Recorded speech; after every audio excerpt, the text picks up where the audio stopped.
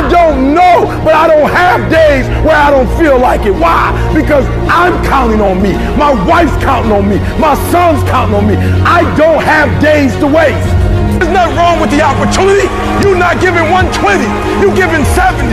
You're giving 60. You're giving 50. And you want what these people who've given sweat, who's given blood, who's given tears, you want what they paid for, and it ain't free. You don't belong the bottom, and it's time for you to get your butt from down there. It's time for you to stop being comfortable at the bottom. Get your butt up and get to where you're supposed to be.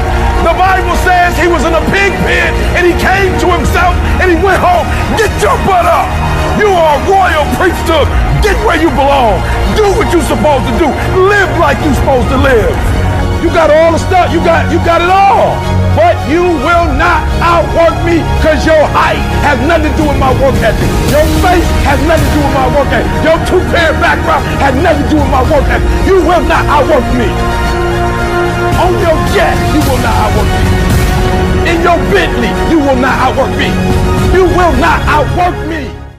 You don't belong at the bottom, and it's time for you to get your butt from down there. It's time for you to stop being comfortable at the bottom. Get your butt up and get to where you're supposed to be.